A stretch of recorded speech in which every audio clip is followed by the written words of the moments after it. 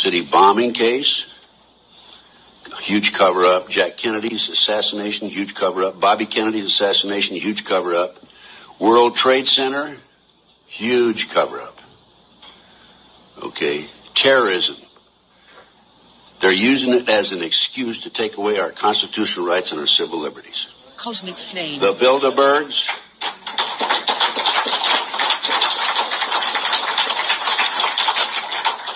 The Illuminati, Bilderberg, New World Order, globalists are the element behind this. It dovetails into the satanic movement, and this movement has infiltrated into our intelligence community, the once great FBI and the CIA.